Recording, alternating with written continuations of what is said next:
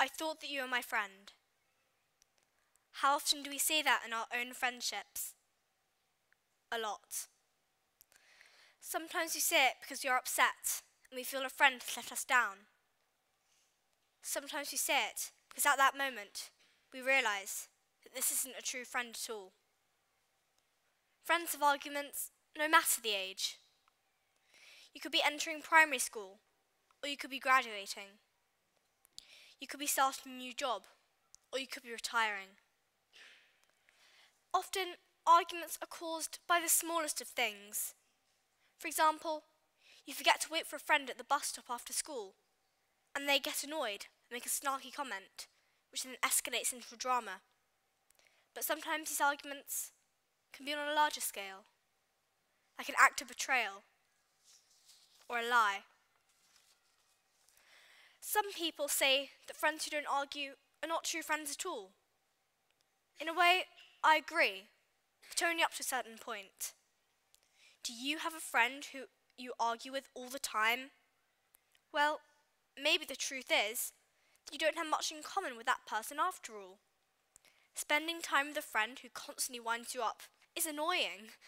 In the end, perhaps the friendship is likely to just drive you both mad and fizzle out altogether.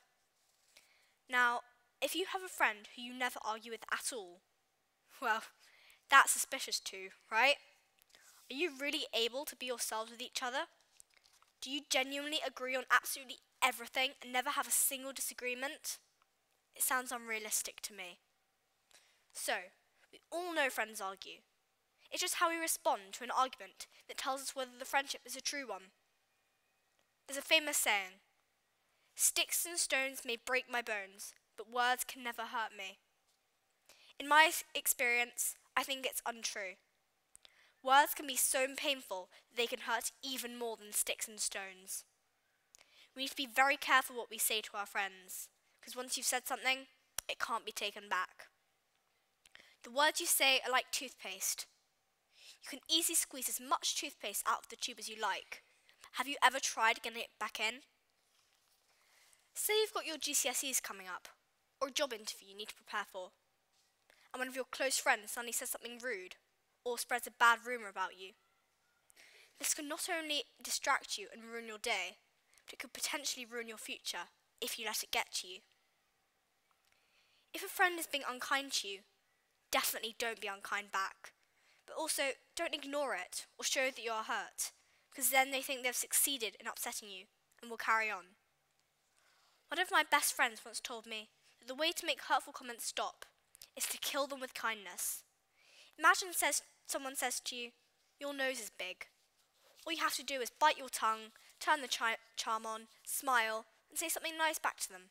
Like, Yes, I know my nose is big. Your nose is really nice. You're so pretty. Well, I'm sure that person will think twice about saying something rude to you again. Sometimes it's us that are in the wrong. Yes, it's hard to believe, but it's true. We say something without thinking, or worse, to deliberately hurt someone. It's not easy to admit that we are wrong and apologise. Pride gets in the way, and your pride could be the one thing that prevents an easy solution. We all know that feeling. The longer you take to say sorry, the more the other person feels hurt and confused. The longer it goes on, the more the problem grows, and gossip doesn't help. Let's face it, we all gossip. Maybe unintentionally, maybe for the excitement, but it always leads to trouble. Gossip is like Chinese whispers. Person A says something small about person B to person C. C passes it on to D and D to E. Each time, the story changing and becoming more and more exaggerated. Eventually, the story will get back to person B in a very hurtful way, and they will confront person A, leading to a massive drama and confusion. That's the thing with gossip. It spreads quickly because everyone wants to feel like they're in on it. But we need to remember that there is always that victim somewhere along the line of whispers who ends up getting hurt. Social media makes this worse. It's great to communicate with friends and family, to keep up to date with news, to swap photos, videos, and music. But it's too easy for social media to be used negatively. How does it feel when you're left out of the WhatsApp group that everyone at school is talking about? You don't even know who they may be talking about. There must be a reason why you're not included. Mustn't there? Well, no, not necessarily.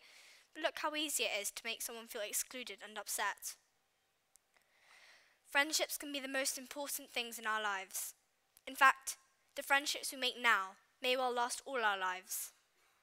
We need each other to confide in, to laugh with, to cry with, as a shoulder to lean on. We need to learn to work at our friendships, not to take them for granted and not betray them. So we never need to say, I thought that you were my friend. We can always say, I'm so glad you are my friend.